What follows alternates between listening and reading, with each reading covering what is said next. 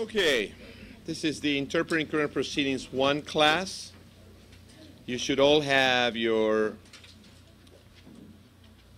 course syllabus and also your manual for this class. My name is Nestor Wagner. I will be teaching this course.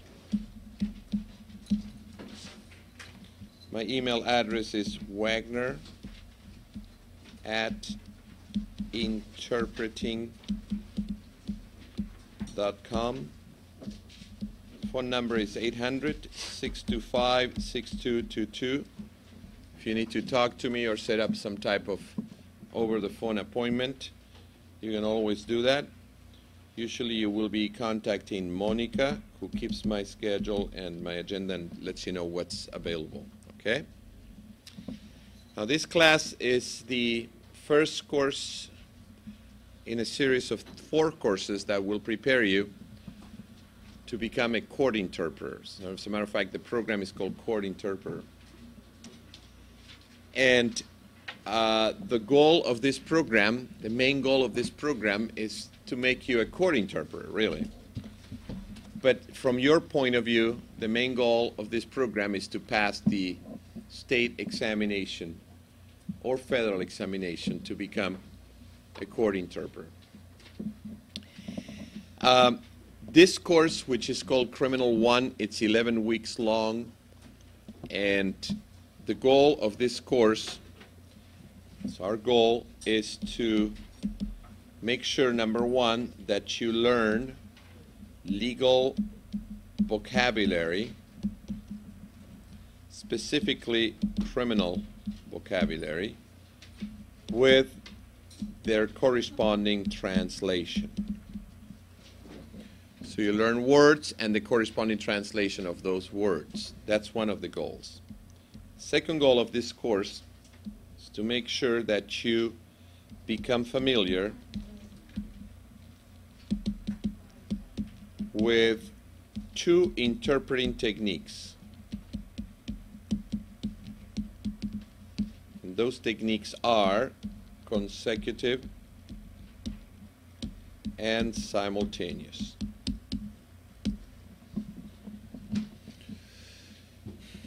The third goal of this program is for you to become familiar, this uh, third goal of this course rather, become familiar with legal expressions and I'm going to go back to this in a second please don't and court proceedings by that I mean that you will become familiar with the terminology that is used in an arraignment terminology used in a pretrial hearing in a preliminary hearing and so on and so forth okay so that's our goal. We have 11 weeks to accomplish these goals. And uh, generally, most people accomplish these goals, and I have a way to measure your progress. If you're an on site student, you're here, the way that it's measured is through quizzes that you take almost every week. If you're an online student, same way, quizzes that you will be able to take every week online students will be able to take the quiz for that week after listening or watching the lecture. And the lectures are divided into two parts for online students. Lecture whatever, like in this case number one before the break, and lecture number one after the break. The quiz is usually usually takes place in the lecture after the break. Lecture one after the break or lecture two after the break. So those of you online will see that you have uh, a link, a button at the bottom that says clearly, you know, click here to take quiz number whatever, and then you can take the quiz. There, are, there, there will be a total of seven quizzes throughout the quarter. And for both programs, I make no distinction whatsoever. I will pick the best five grades. So it means you can have two grades that are really bad and still be okay. In other words, you still get a 100% in the uh, quiz category. There is, of course, a midterm and a final exam. For those of you on site, right here, the midterm is all written. There's no oral component. For those of you online, it's written, and then there is also an assessment called First Assessment that includes, it's an over the phone assessment that includes an oral portion. That is basically an oral assessment. Lasts about 45 minutes or so. And the reason why we do that to online students is because we cannot hear while you're practicing in lecture one, two, three, and four. So what we do is we contact you in lecture five, or you basically have to set up the appointment. You'll be able to see that on the, uh, the, the, scheduling of the program. And we call you, and uh, we'll give you a, uh, we'll basically play some of the practices that we have played, and then we can hear you and give you some idea of how you're doing on-site students, I can hear you every time you practice here, so I can also let you know uh, here uh, by the midterm or so. The final exam for this class is for on-site is part of it written, part of it is oral. When I say oral, I mean you need to interpret. The same thing is true for online students where they have to, where we call them final exam and second assessment. There, if you look at your course syllabus on the second page, it tells you uh, my outline has a second email address, by the way, on top of the second page. Um, you can use either one, the one I gave you on the board or the one that is there. Doesn't make a difference. So there are five quizzes, 100 points each, one midterm, one final exam, and then we call class participations. Class participation really means that you are, for those of you on site, means that when I play a practice, you make an effort to interpret. Even though you probably make a lot of mistakes, it's irrelevant. I'll give you 100 points for just, or 200 for just making an effort to do that.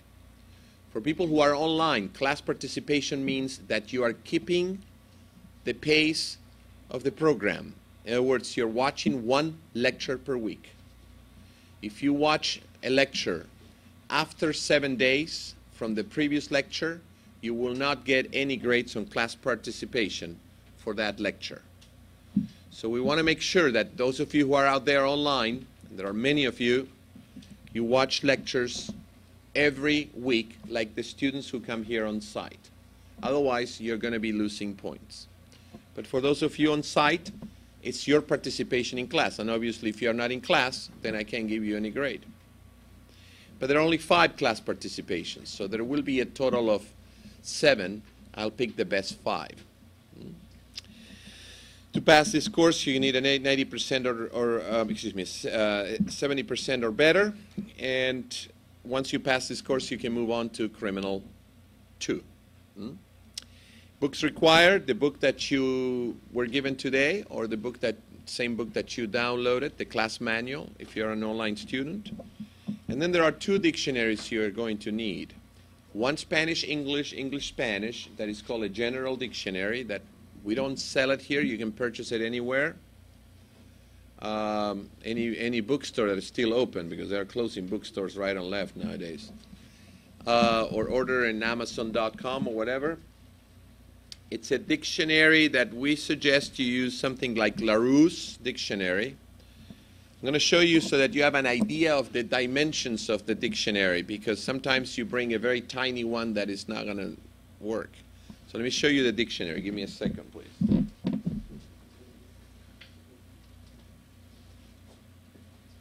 It should be at least this thick. All right, this thick. This is the one that I use. You can use Larousse, you can use Oxford, you can use whichever you like, Spanish, English, English, Spanish. And it is a dictionary that has general terms. All right? That's, that's the first thing you want to purchase. The very first thing you want to purchase is this dictionary. Hmm? Now, the next thing you're going to need is a criminal court dictionary, but you don't have to purchase it yet, after the midterm. week number six or so. And that dictionary, we do have it here because it was written by one of our instructors.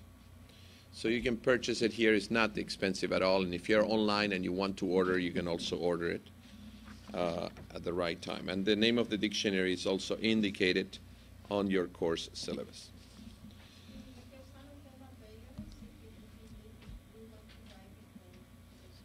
I beg your pardon?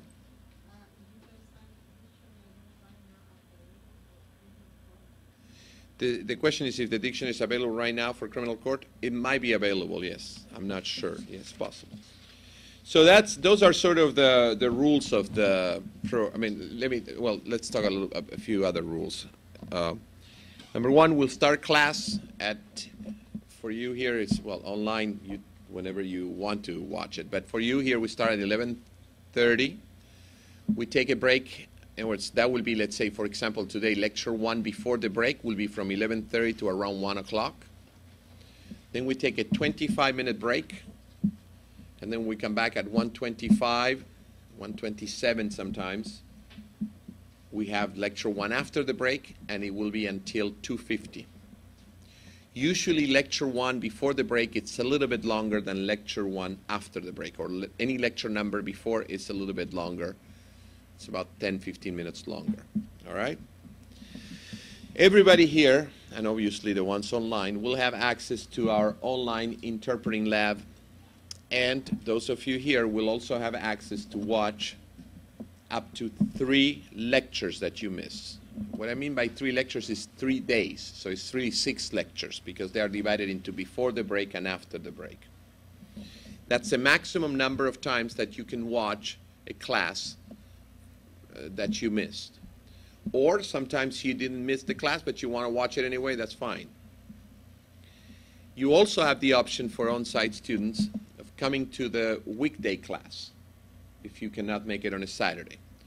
And I understand there's no space, but there will always be space because people will be missing class.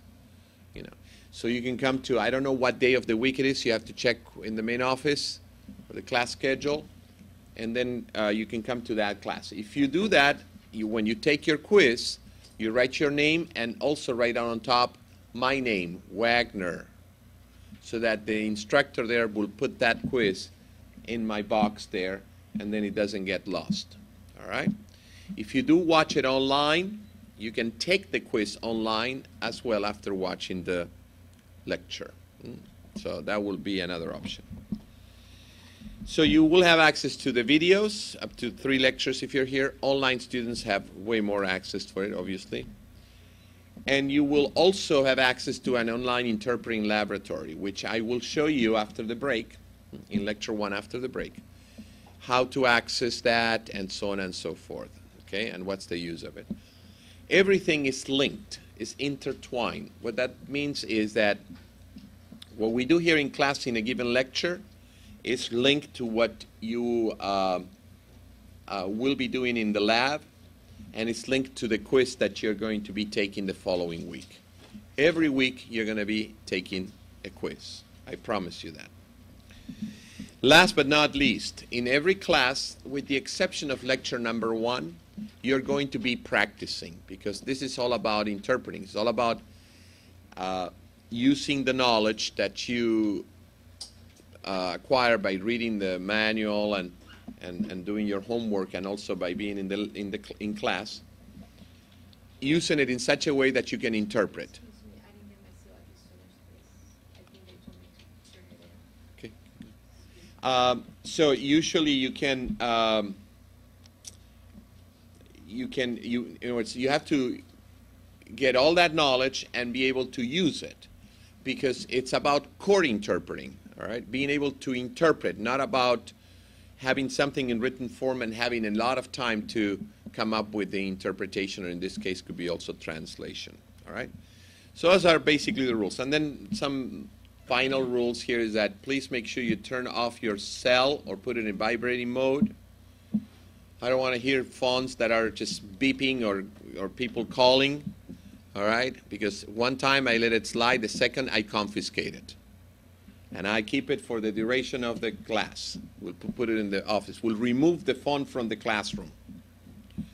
So we don't want to do that. But if you put it in a, you know, I know I understand that some of you may be getting some phone calls dealing with your children or whatever. That's okay if it's vibrating mode. I don't want you to be texting in my class because what happens often with all these new gadgets is that you start texting. Oh, it's very quick. Yeah, you text very quick, but you lose concentration on the class, and then you ask me the question that I just explained, and the rest of the students who are paying the same amount of money that you're paying will get less class time because of those questions. So I'm not allowing any text. And please, if I see somebody texting, I'm going to ask you to please leave the room. We have a room in the somewhere in there called discussion lab. We have like 12 people there anxiously waiting to be here. So if I notice you text on a regular basis or your phone rings too often, I'll send you to that room and I'll bring somebody who is more interested in this class to this classroom.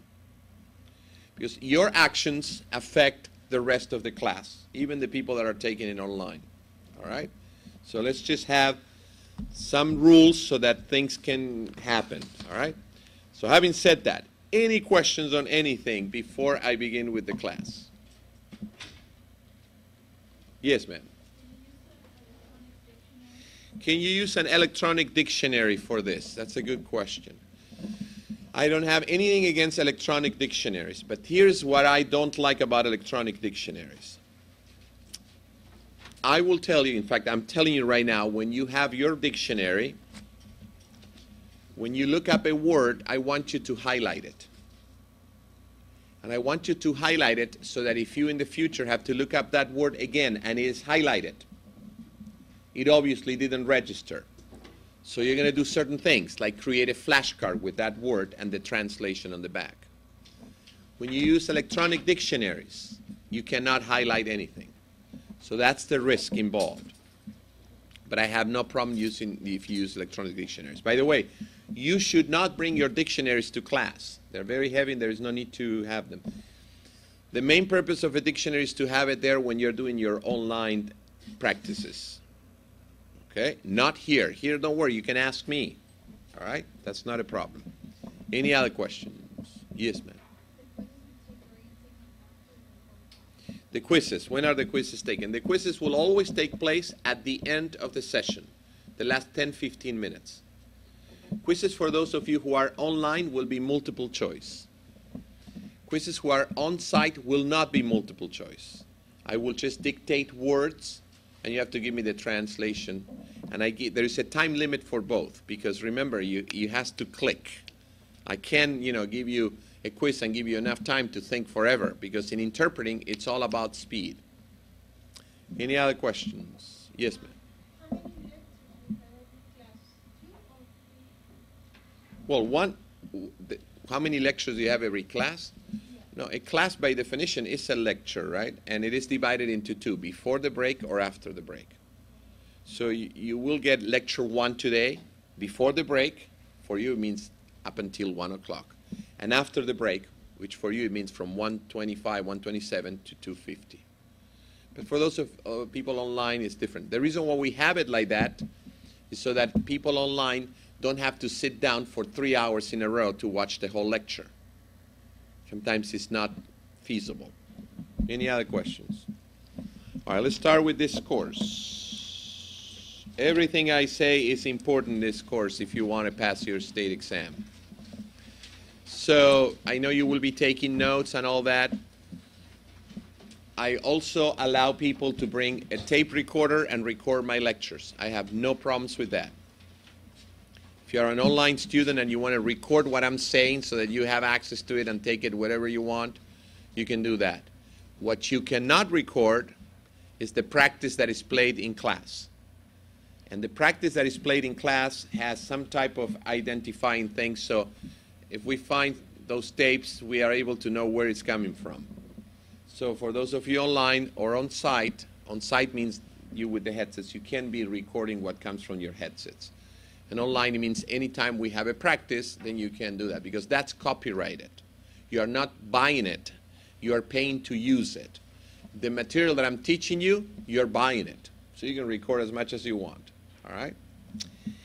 So, uh, the first thing that I want to discuss with you is a very interesting concept that usually people have difficulties with. And that concept is the, the concept of transferring something from one language into the other and how the transfer should take place. The act of interpreting is the act of hearing something in a given language and transferring that into the opposite language. In this case, is English and Spanish. The transfer is verbal, not written. That's interpreting. Anytime you transfer from one language into the other, into a different language, you will find that there are problems in the transfer that are linked directly to things such as grammar, dif- grammatical differences, or word order. Placement of the words are different. There is a big difference between un hombre grande y un gran hombre, as I mentioned in the past. And then there is all, also this issue of transferring something that may sound similar in, the, in both languages, but they may, it may not convey the same meaning. She's embarrassed. Ella está embarazada. No, right? Está avergonzada. And of course, we have the other element that we, we only have here in the U.S., and that is the Spanglish portion of it. Hmm? me fui, salí de la house porque me fui a la marqueta. Well, I don't know, what, something like that that makes absolutely no sense. Obviously, mixing languages is something you are not to do in interpreting. Because you always you should always remember that this is you and this is the person that you're well let's make it a woman, I guess. Sounds like I don't know, a woman. This is the interpreter and this is the let's say, defendant. The defendant speaks Spanish. If you say a word in English to that defendant, she's not going to understand that. And she's going to say, que, and then you have to say what, and then what she didn't understand is what you said, not what the judge said. Because the judge said, what is it that you didn't understand, ma'am? ¿Qué es lo que usted no entendió? Esa palabra en inglés, that word in English. And the judge says, wait a minute. The judge says, wait a minute all the words I that I have been using are in English. So it creates a lot of confusion. So you're not supposed to say anything in a language that the person that you're interpreting for will not understand. We call that mixing languages. That's not allowed. This person that you have there, I'm going to draw it in nicer, okay? Nice. Well, not too, too much nicer, but uh, this person who is the defendant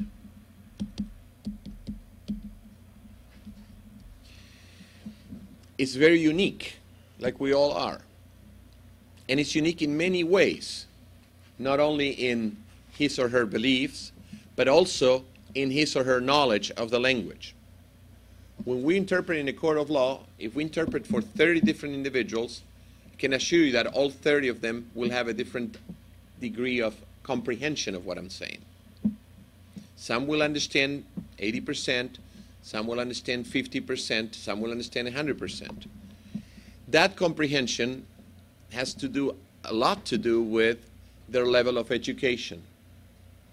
I'm going to say the same thing that the judge is saying in the opposite language, regardless of how difficult it is. But whether the person will comprehend it or not, it's something that is out of my control.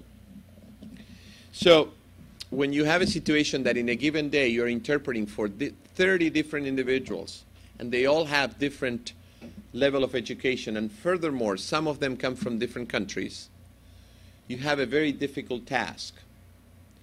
The Code of Ethics of the in, court interpreter state, clearly states that you should never explain, but rather interpret. And that means that if a very complicated word is said by the judge, you have to use a complicated word in Spanish. It doesn't matter whether he or she, will, the defendant, will understand. It's irrelevant. But the area where we have some control is where the person is coming from. Because if this person comes from Mexico, then you have a set of words that you may use, including legal words and slang. But if this person comes from, so we have a set one. But if this person comes from Peru, then you may have a set two, a different type of words, because the slangs that are clearly understood in Mexico will not be understood in Peru or may even give you a completely different meaning. Hoy no tengo nada de lana. For somebody in Peru will be I don't have any wool. For somebody in Mexico it means I don't have any dough, any money. So those slangs are dependent on where you come from. Now, this, the state, you, you cannot, there's no way for you to know everything for every single country. So the state of California and most states nowadays, because they are all under the consortium exam, will require that you're familiar with slang and vocabulary used in Mexico and Central America. So be aware of it. So our assumption, when you go and take an exam, you don't see a person. You just hear a tape. And nobody tells you where that person comes from. So you have to make certain assumptions. And the first assumption you're going to make is that that person comes from Mexico and or Central America. And what I'm saying, the reason why I'm saying this is because if the person, if in real life, if I'm working in court and I know that a person comes from Mexico, I will be using even legal terms that are much more appropriate for Mexico. For example, instead of saying el fiscal, I will say el agente del Ministerio Público. We'll learn all that. Instead of saying la fiscalía, I will say el Ministerio Público. Instead of saying juez, I'll say el ciudadano juez. Instead of saying libertad condicional, I'll say condena condicional. All these variations in the legal area, in the specialized vocabulary, are necessary so that this person that comes from Mexico, who may not have a lot of education, but certainly heard or watched TV or heard the radio in Mexico, and that's the terms that they use, will comprehend it better. So in an, any state examination, you need to, we call that localize, localize to a given country, in this case Mexico or Central America. So the principle of localization is when you have a message in a given language, you transfer into Spanish in this case, but localization is what tells tell you what country you're going to in terms of your language. So in the example we were just giving you is Mexico. The state exam requires that the localization is Mexico and or Central America. They're very similar. So this brings up a very interesting point. Localization does not only exist on legal terms. It also exists in slangs. If you get the slang in English, like uh, he's pissed off because his uh, woman didn't show up, then instead of saying estaba muy enojado, estaba enojado porque su mujer no se presentó, you have to localize with the same register, the same uh, level of the language. And when you localize to Mexico, he's pissed off because his woman didn't show up, will probably be, está petateado de encabronamiento porque su ruca no se presentó.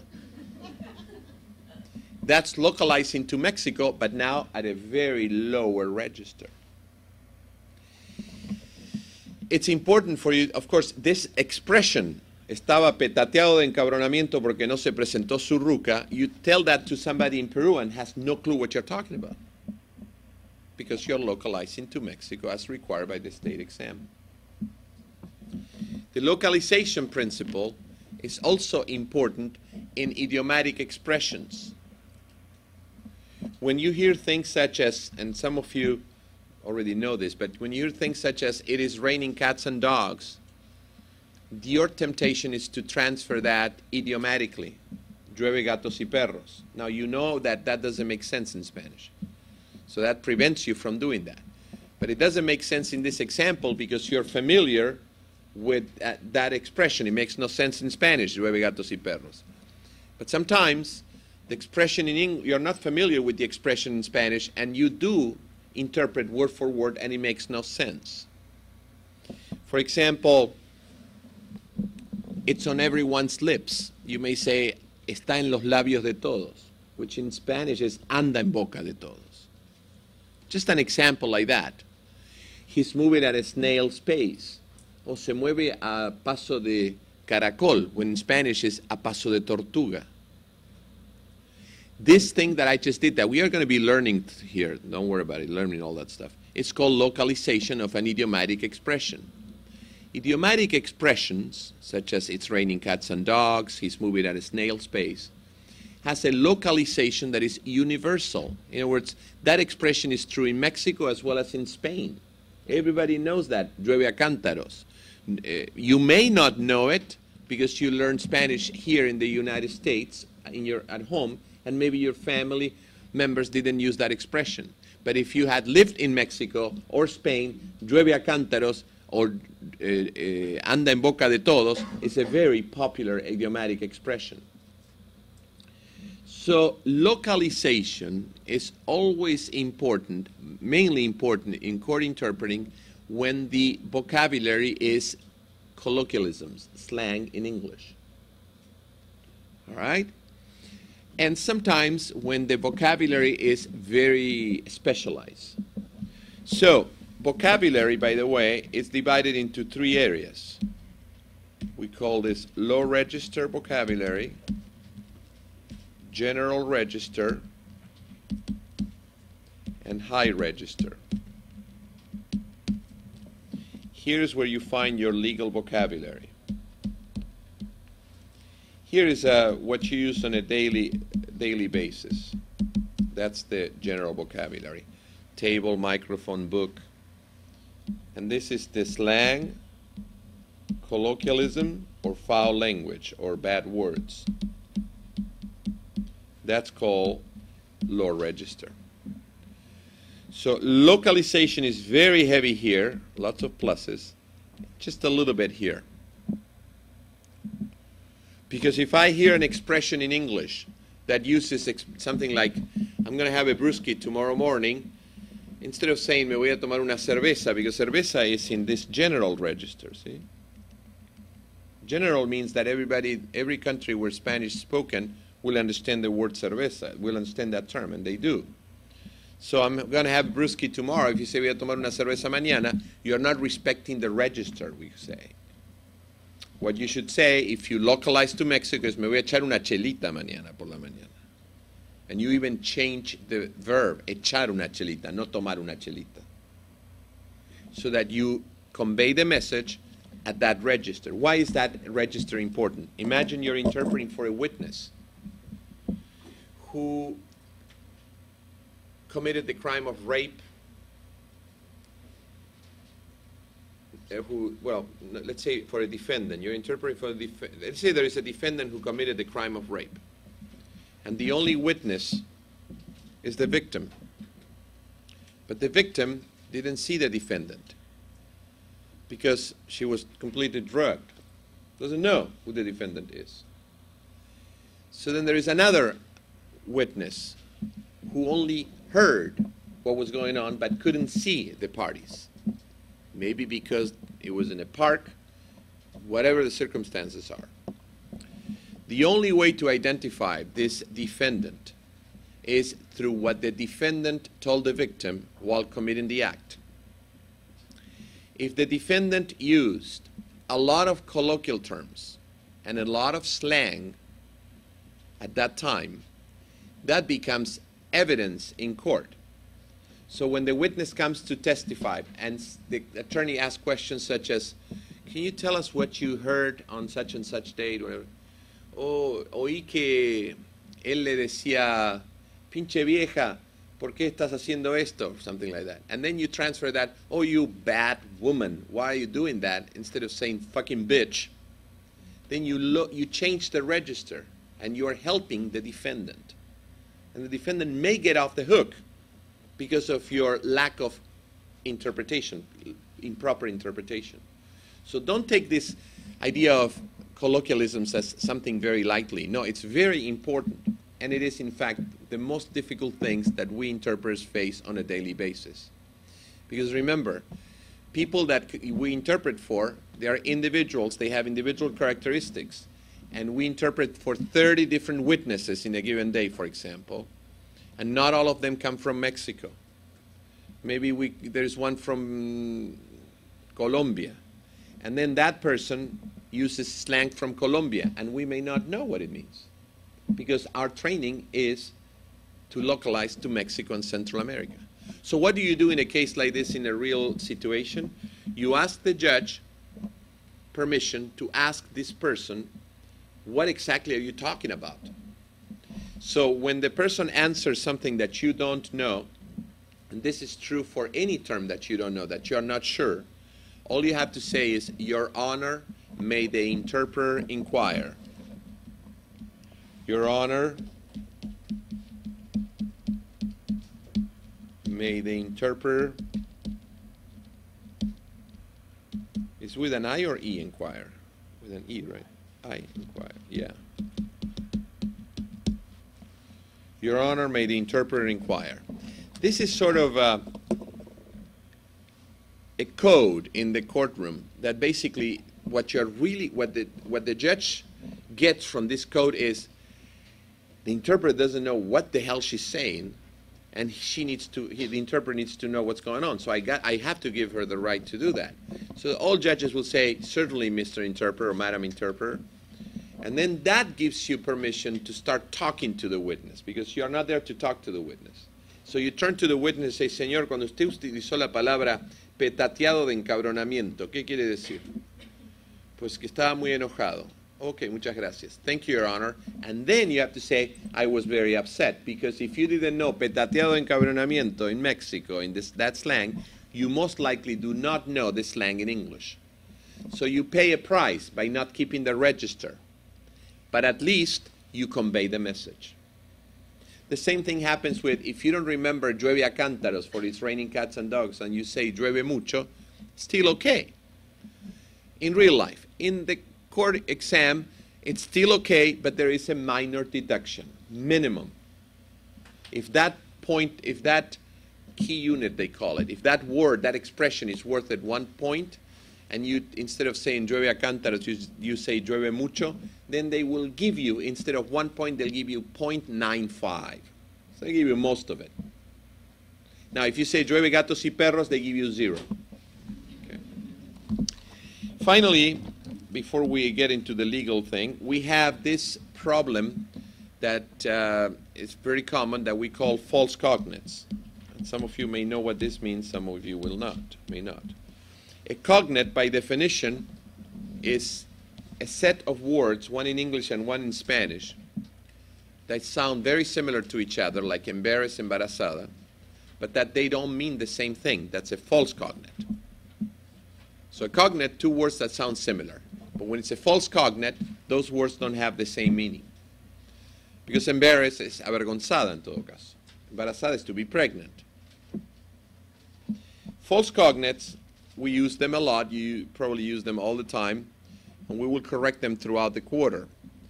But the ones we're going to be dealing with today, well, they're not necessarily false cognates only, but the vocabulary we're going to be discussing today, a page of legal terms, some of them will, you will be tempted to use a false cognate. For example, probation, probation, provecho. Don't they sound similar? Absolutely, but they don't mean anything. Provecho is buen provecho. Has nothing to do with probation.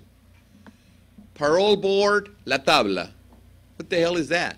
Even though they don't sound similar, now here the translation is word for word. It's not localized. La tabla de la parola. What the hell is that?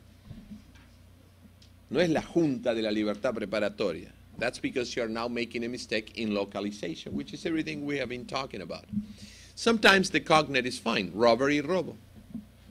So what we're going to be discussing now and continue after the break is on page number two in your manual. And the title of it is called Key Criminal Terminology.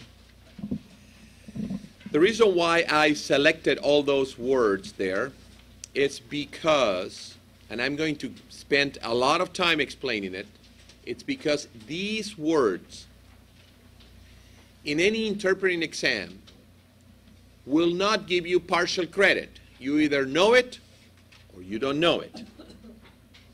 It's not like it's raining cats and dogs, llueve mucho, and you get 0.95 out of 1. Here, if you, you, if you don't know how to say evidence and you use the incorrect term, you get 0. So these words are they have so much weight in your exam that it's necessary for me to spend an hour on those. Shh, please quiet. What that means is that during this next hour, of course, we're going to break it into before the break and after the break, you need to know the translation of these words, and I will explain a few things associated with these words. But what, at the end of the day, all you need to know is the translation of the word. But sometimes I will explain certain things because that word may have more than one meaning. As a matter of fact, that's the reason why you have two dictionaries, one general, one legal. Because sometimes a word has a general meaning that is different to its um, legal meaning. For example, take the word consideration. Consideration is a word that if you look it up in a general vocabulary, will say consideración. But if consideration is used in a legal context, such as the consideration included in this contract, it's no longer consideración, it's contraprestación. But wait a minute, but the dictionary tells me that consideration is consideración. Yes, but what dictionary? The general one. Yeah, but the word consideration is used in a legal context here, so you should not look up consideration in the general vocabulary or general dictionary. You should look it up in the legal one. That's why you have two types of dictionary. Which one you use depends on context. If the expression is he had no consideration towards me, then you wouldn't look it up in a regular diction, in a general, in a legal dictionary. You will look it up in a regular dictionary. So your job as an interpreter, in this case it could also be translator, is to determine which tool you have to use. You know, you have a hammer and a screwdriver. You know, you may be able to, with the screwdriver to hit a nail, but that's not the right tool. So you have these two dictionaries you have to use. You have to decide which one is the right one based on context. If you're going to work in court,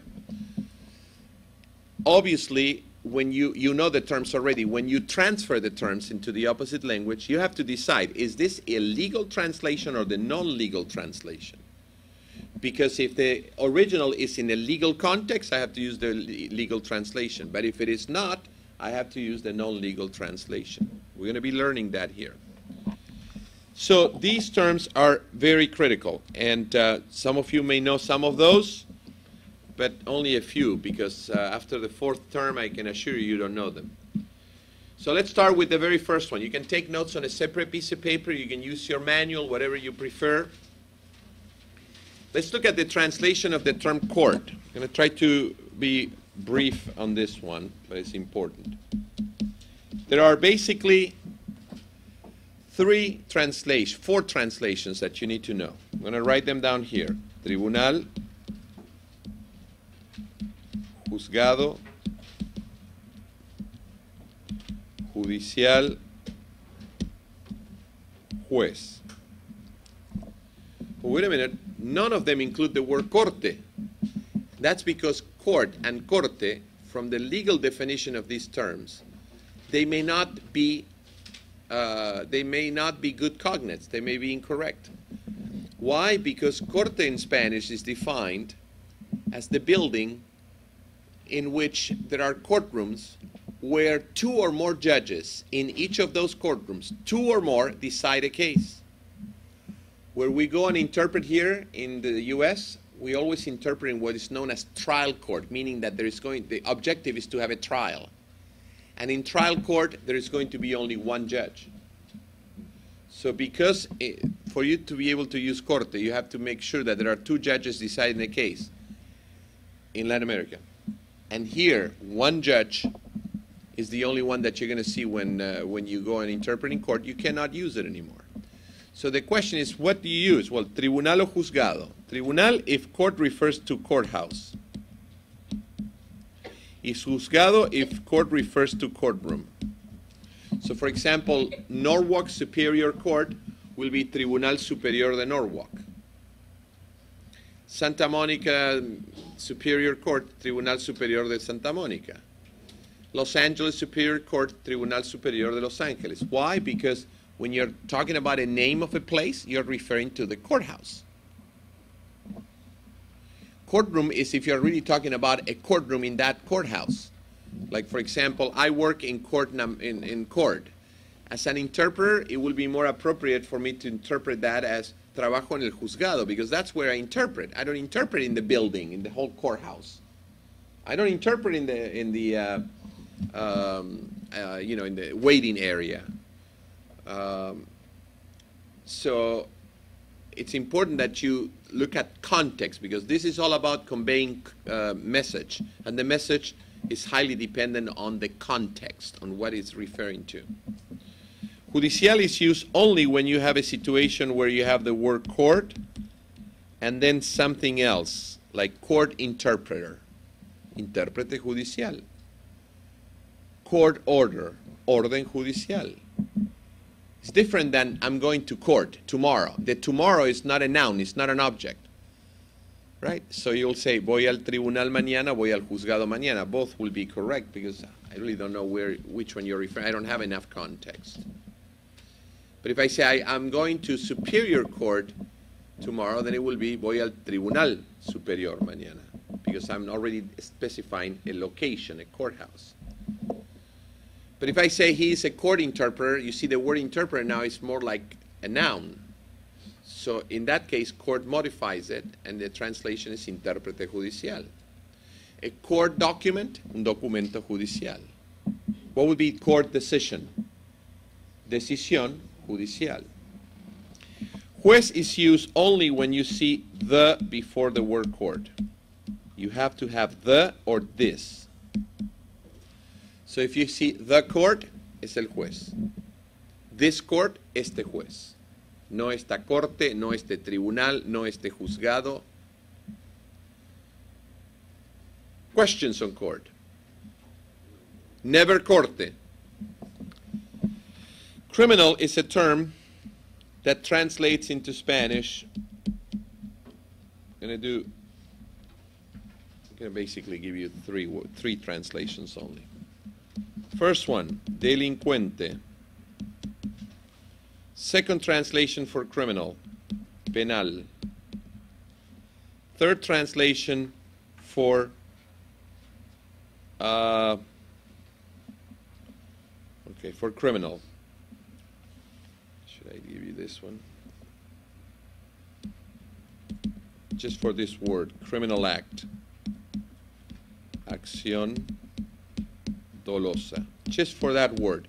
Take this as one expression, and this is the equivalent expression. But at no time I use the word criminal, although the word criminal exists in Spanish. The reason why I didn't use it is because criminal in Spanish can only be used if the person who committed that crime committed a very serious crime. And sometimes it may be appropriate to use it, but sometimes if you don't have enough context, you don't know. Because if you're taking the exam and the very first line is the criminal appear in court, and you have no more idea, they ask you to interpret at the same time, and you have no idea whether this what crime he committed, then you say el criminal, and then you committed already to a situation that may not be the real one. Because when you say criminal, you're already assigning or you're already stating that this person committed a very serious crime. So we want a term that works at all time, and that term is delincuente. So it's el delincuente. You can spell it with C or Q.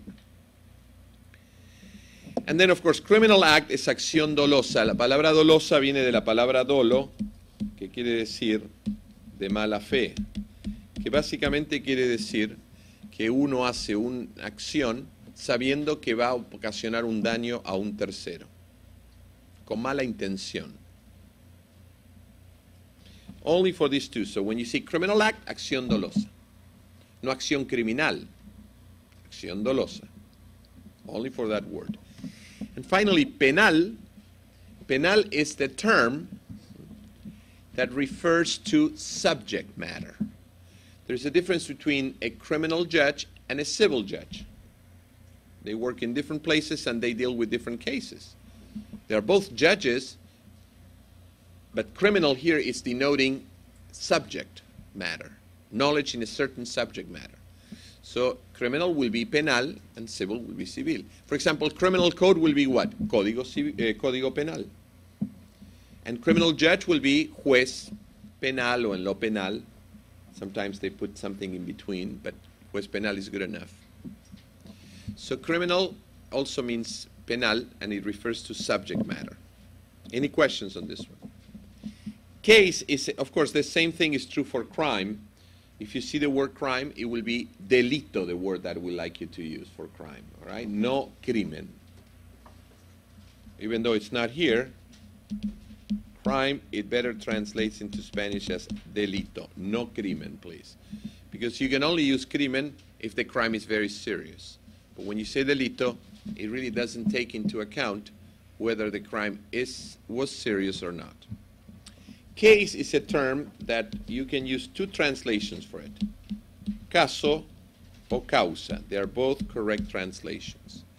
My advice is that you use this one, because the which is causa. The difference between these two is that causa is used when, you, when it is it's way more formal. What does that mean? It means that you, whenever they, you hear the word case and the judge is present, it should be causa or you're on the record. Another way to say it is that. But if you're in lockup, you don't have to. In the cells, you can say caso because the judge is not present. Evidence, there's only one term that you can use, pruebas. And, oh my God, I, I, I don't see evidencia. Of course not, because evidencia does not work here for you to use the, wor the word evidencia in Spanish, you have to must, you must be certain, you must be certain that there is no room for doubt that that indeed occurred. And the only way you can do that is if you were a witness. And jurors usually are not witnesses of crimes. Or if they are, they're not going to be jurors. So in a case where I present a lot of evidence to the jury, the jury or the, each individual juror did not was not present at the scene of the crime. And therefore that evidence cannot be called evidencia. Because for that juror there, there is room for doubt. Maybe he's lying whoever wrote this document. So that's why we always use pruebas for evidence. Always please.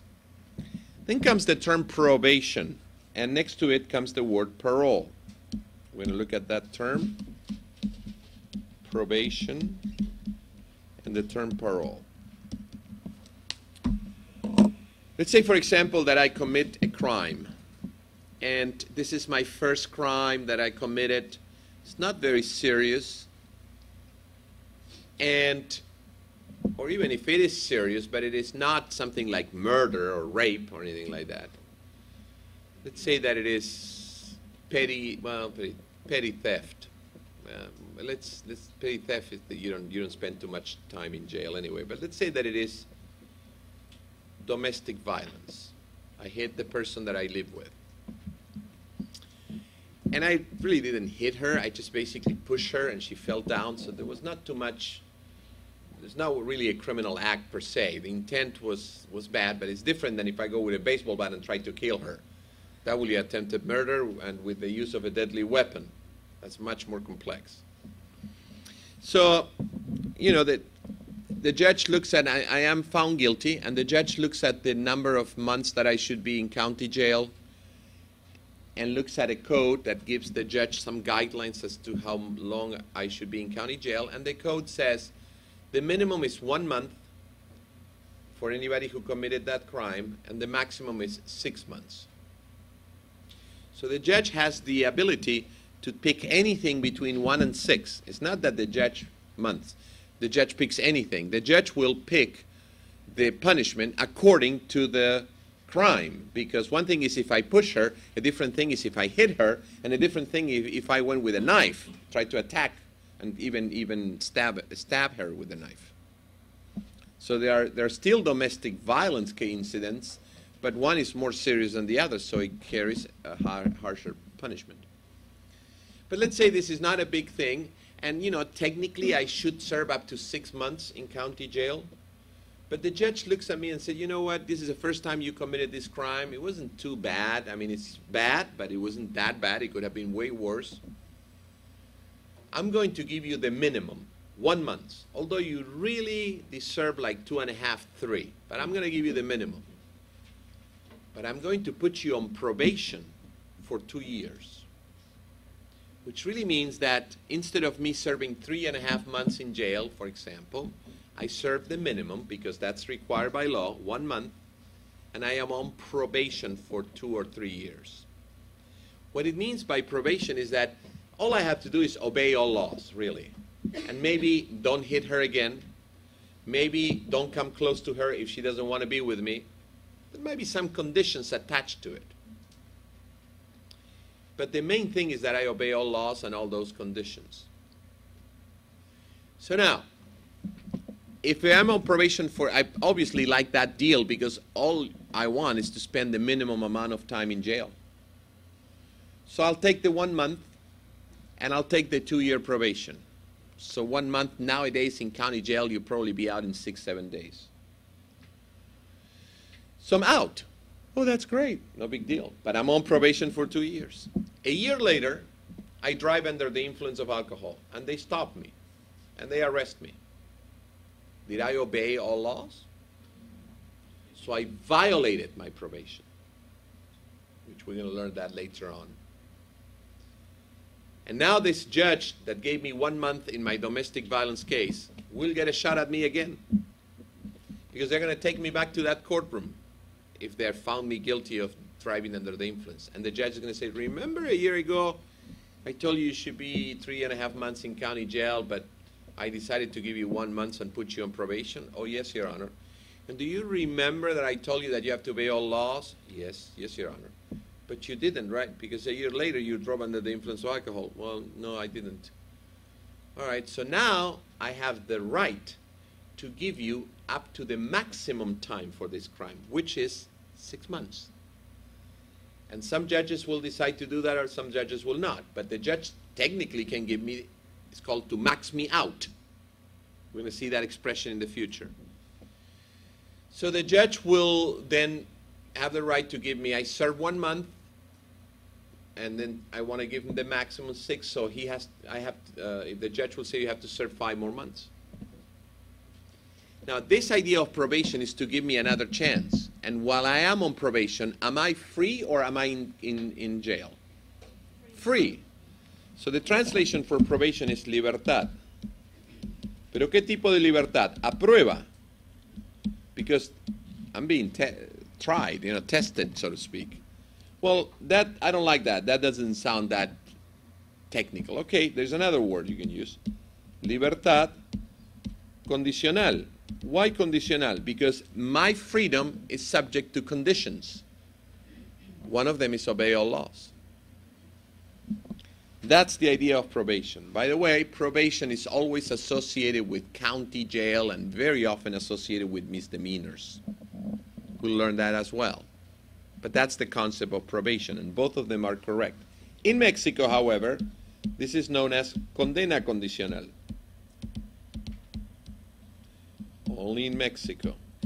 So if I tell you, can you please localize the term probation to Mexico, the translation will be what? Condena condicional. But if I tell you, you know, can you translate probation without me telling you to what country, you can use whichever you like. But if I tell you, can you localize it, uh, you know, to Mexico, then you have to give me the translation, the term that is used in Mexico.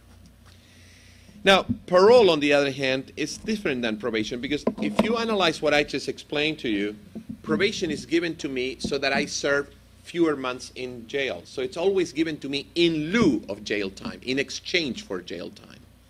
Instead of going three and a half months, I go only one month, but I get probation. But if you want, you can go three and a half months and you don't get probation. That means that for the next two years, you don't have to worry. You can kill somebody if you want to. You, you do whatever you want. Of course, you will be charged for that crime. Huh? so probation is always so that I serve less time.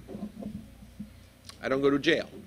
Parole, on the other hand, and by the way, probation is given to you before you start serving time. So the judge tells me one month and probation, and then I serve the one month. Sometimes you're serving concurrently because you don't have money to pay a bail and all that stuff and you're stuck there, right? But technically, You, it's given to you before. Parole, on the other hand, is really associated with state prison. Very serious crimes, felonies, rape, attempted murder, uh, very serious drug related charges, uh, manslaughter, voluntary manslaughter, all these very serious charges. And the way it works is that when my case is, uh, when I'm found guilty of a serious charge, uh, let's say attempted murder, the punishment, let's say, is 12 years. So I go 12 years to state prison. And it's going to be 12 years. The credit is minimum, if any, in state prison. There's a lot of credit in jail because it's overpopulated, but in state prison, no, not that much. But the law says that after I serve a certain period of those 12 years, maybe 75%, let's say after eight years, I can request to be released. And the grounds behind that is that I tell that this entity that I'm going to see to make that request in state prison. And basically, my grounds are look, I've been here for eight years. It's going to take me at least two, three years to get back to the society. So, in a way, I'm out, but I'm still being punished because I'm going to have a hard time out there. If you keep me here 12 years, when I'm released, it's going to take me another three, four years to find a job and, and, and get back to the society. So really the punishment is 15 years. So parole is something that you request so that you can be released to prepare you to go back to the society. And that's why parole translates as libertad preparatoria.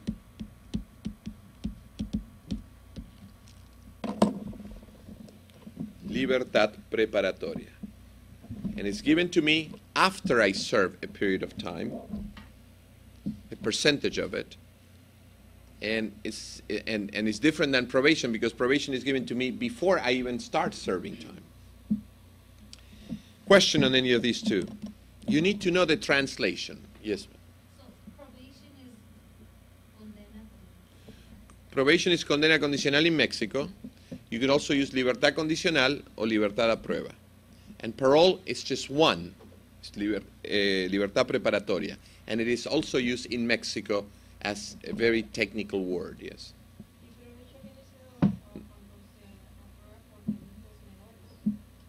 Probation is always associated, yes, to almost always to misdemeanors, delitos menores.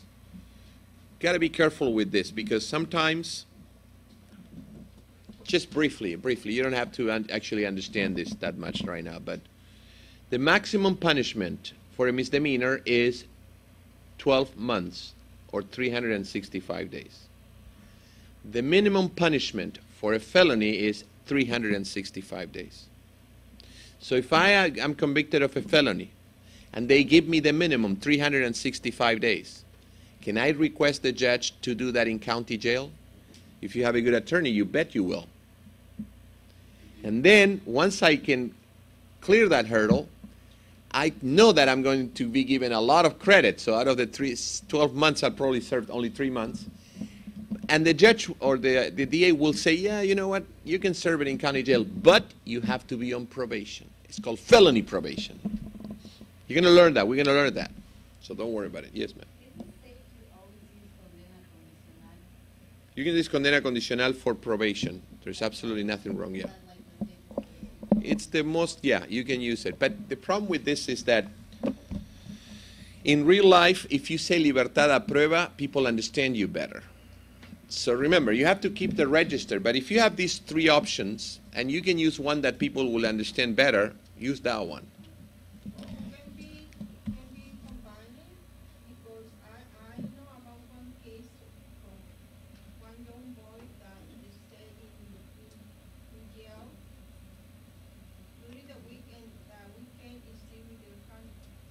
Well, there's a comment from the student that really has to do about something that she knows that doesn't really pertain to the class, but whether you can combine it. No, when, the, when a person is there for the weekend, spends time in jail for the weekend, and is released on the week, uh, I mean, uh, during the weekday and then released on weekend. Is that what it was? That's called furlough. That's something completely different. It has nothing to do with probation or parole, and it is not a. Uh, it might be a condition of a probation, but you have to request that to the county. And it is a minor, so that's different. Minors have different rules. We have to be very careful with that. Okay, let's move on now. We'll do about three, four more terms or five terms, and then we'll take our break. Assault. Well, it. I should really have. I'm going to do this. Let's see. Do we have it here? I'm going to, even though it's not there, I'm going to put this. I'm going to put all these three together.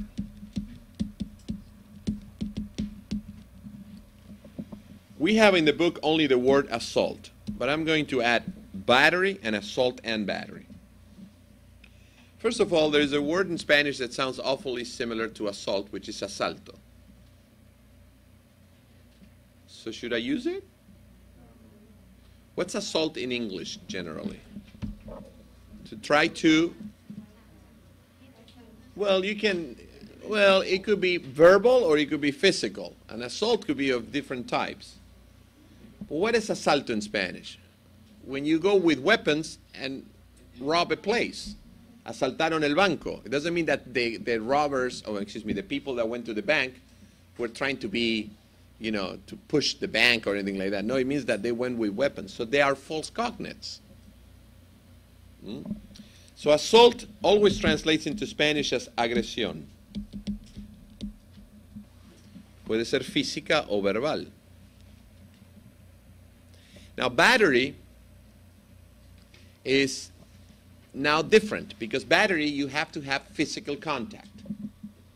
So for example, I go to, to this gentleman here and I start assaulting him by saying, you know, threatening him and assaulting him in various ways and then I push him. Immediately, when I did that, it turned from assault to battery. So battery is agresión física. And then, in, if on top of that, this gentleman, after I push him, injure himself, then the charge is assault and battery together, que es agresión con lesiones. Yeah, if you if you touch the individual, just the mere touching makes that a battery. So that's agresión física. But if I push him, for example, which is already battery, and he injured himself because of what of the of, of the fact because of the fact that I push him, then it becomes assault and battery. It's just one crime, and it is known in Spanish as agresión con lesiones. Robbery. That one, finally, we had one easy one.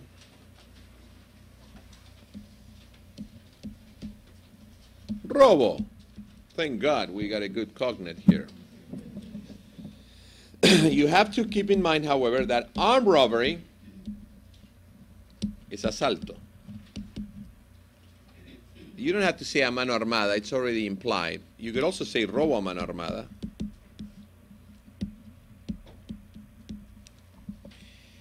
There is, of course, something we need to talk, and then after we discuss this, we'll take our break, okay? I know that you are probably tired already. Robo a mano armada. Mano armada, yes. You know, in Latin America, we care, we have crimes such as robo, asalto, hurto, y escalamiento. We're going to learn all those today. So remember that uh, uh, there are many crimes that are associated with taking property from someone else. And there are four. It could be robo. I will, I, you will see them in context, so you don't have to write them. But it could be robo, asalto o robo a mano armada, hurto y escalamiento. In English, you have many more. You have robbery, armed robbery, petty theft, grand theft, larceny, car theft, burglary. Seven. So we have to match seven in English to four in Spanish. That obviously means that many of these one in English will have the same translation in Spanish. Now, it is important for us to understand the difference between. ugh. okay, here we go. The difference between theft, robbery,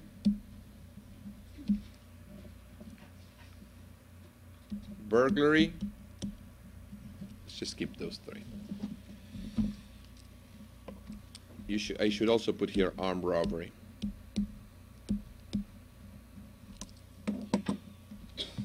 If I take something from you, but you are not threatened or you are not present when I took that from you, and from you means from you as a person, or it could be from you as being the owner of a store.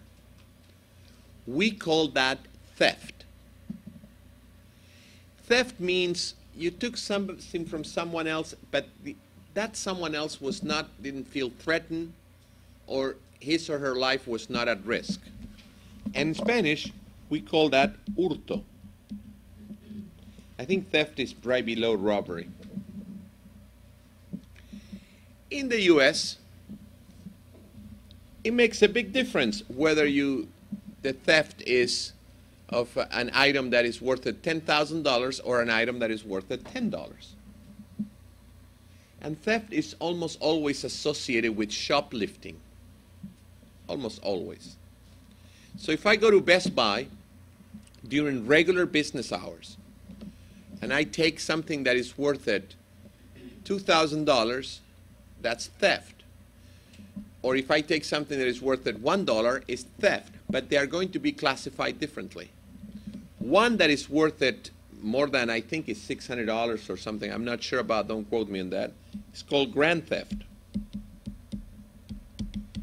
The other one is petty theft. The one that it is below a certain amount of money that it always changes anyway. So grand theft is hurto mayor. Petty theft is hurto menor. Grand theft, this is a felony. Felony means way more serious crime. This is not a felony, this is a misdeme- misdemeanor. Oh, misdemeanor. Misdemeanor. Don't worry about these terms, we will learn them. But I just want to tell you that this one is not that bad, petty theft. But grand theft is bad. I can commit a crime of petty theft and be given only two days in county jail and be on probation for two years. And one of my conditions is that I do not commit, first of all, I don't go to that store, and that I don't, I obey all laws, and most important of all, that I don't commit the crime of petty theft again during the two years. Because if I do commit it again, because of my background, because of my priors, that petty theft, the second time, will be treated as a felony, as a grand theft. Because I was given a chance. Now, if I, so if I go to, let's say that this gentleman has a store. He's the owner of Best Buy here in this location, wherever we are. Okay?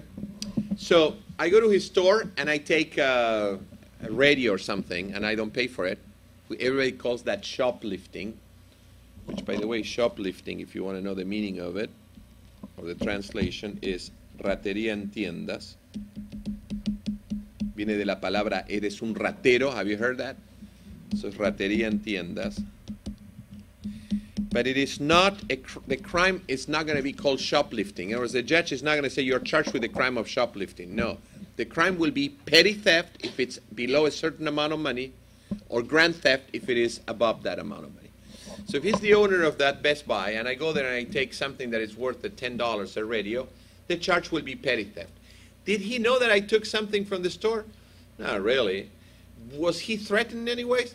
Not really. Was his life at risk when I took that from the store? Not really. Okay. Now, another case. He's still the owner of that Best Buy. He is outside in the parking lot. He has a very nice watch. I want it. So I go there and I say, Give me that watch, or I'm going to pull out a gun and kick your ass and kill you right here. Was he threatened? Yes. So he gives me the watch because he was threatened. That's called robbery, robo.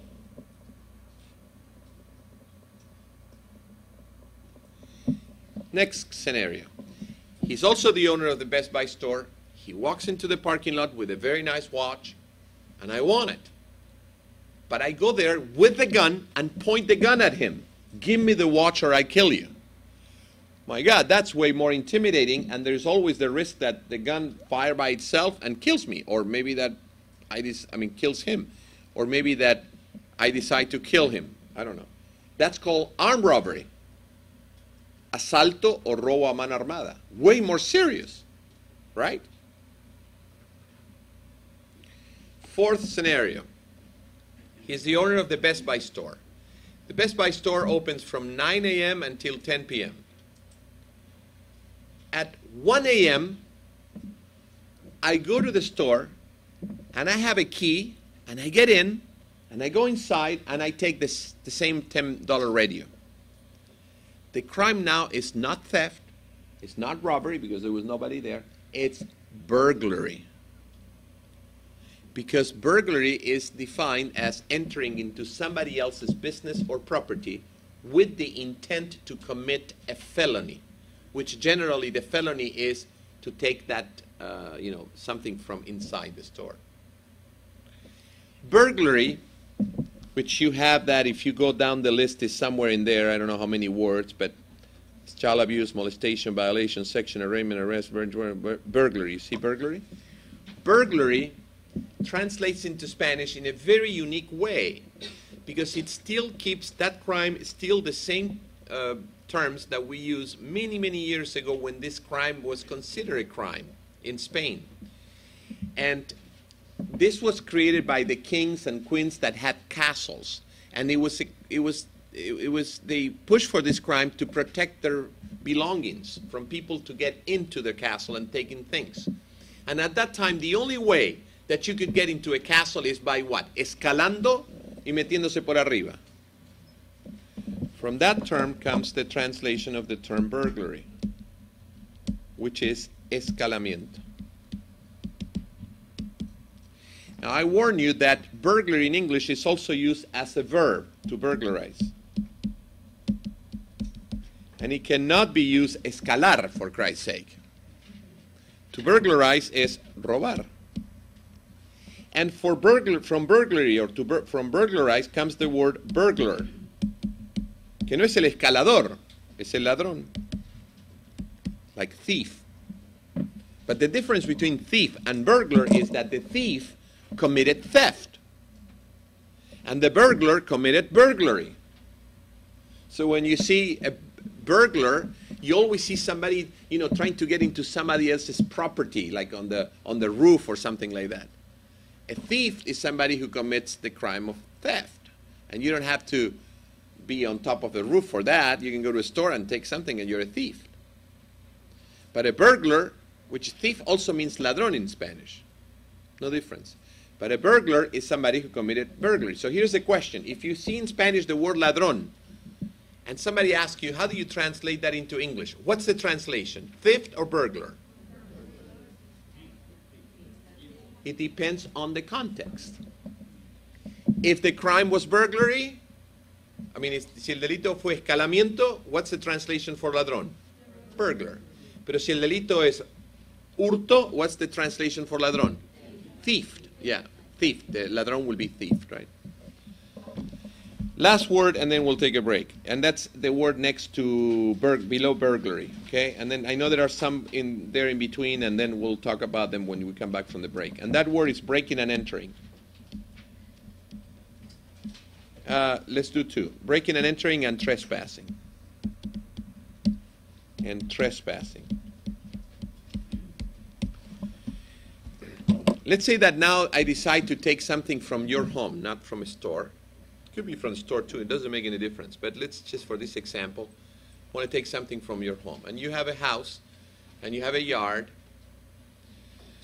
If I walk into your yard with the intent to commit a crime, that's very important because you have to show intent. That is known as trespassing. Spanish we call that acceso ilícito. Ilícito quiere decir ilegal.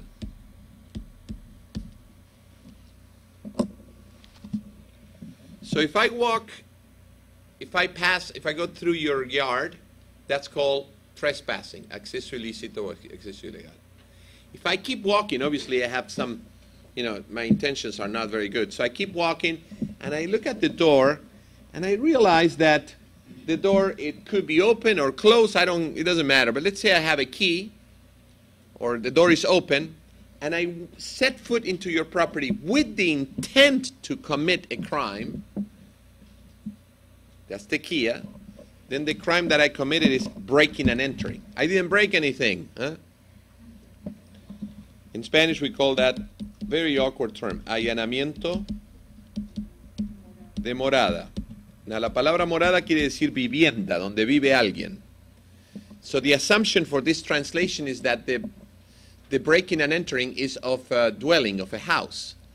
Because if the breaking and entering, so this is for a house, if the breaking and entering is in a store like the 7 Eleven, it will be allanamiento de un local comercial. That's for a store. So if I commit breaking and entering and the victim is the, I mean, if I commit breaking and entering in a, in a 7-Eleven store that is, well, 7-Eleven is 24 hours open, but let's say in, uh, in uh, Best Buy, that's called allanamiento de un local comercial. But if I commit this crime, breaking and entering in your home, eso es allanamiento de morada. Is that clear? Okay. No, no, no, no. Don't talk about lock, breaking the lock. We're going to get into that in a second. What about if I get to your house and it is locked and I use a crowbar? You know what, what is a crowbar? You know the translation for crowbar? Palanca. Let's say that I use a crowbar to break the lock. Now there is something else added to it, and that's called force entry. In, eh, acceso for- forzado o forzoso. We're going to learn that. We're going to learn that. You can add a lot of things to it. You know, the more things you do that are illegal, the more crimes you commit. If I want to, and then of course, once I walk into your house and I take the TV set, then I committed a, uh, a burglary.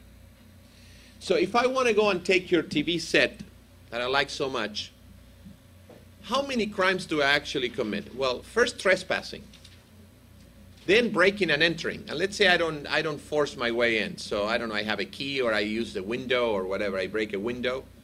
So trespassing first, breaking and entering, and burglary. Which one is the most serious one? Burglary, followed by breaking and entering, followed by trespassing. So when the judge tells me the crimes that I committed, he's going to, or she's going to put this into what they are known as counts. Count one will be the most serious one, burglary. Count two will be the, the one follow, breaking and entering. And count three will be trespassing.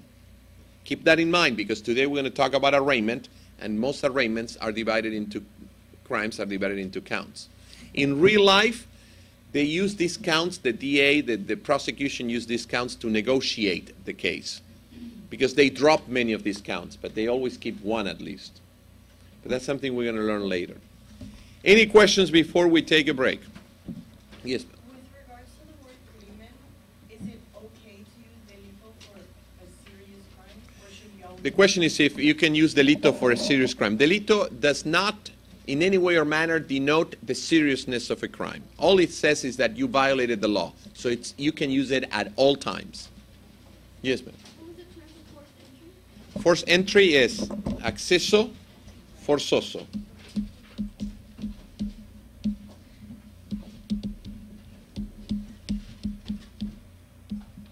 I think it's yeah. Okay, so this ends lecture one before the break. Take it 20, let's come back at 1, 140, 1, yeah, 140. Let's come back at 140. You need to turn in, make sure you sign all your contracts and put all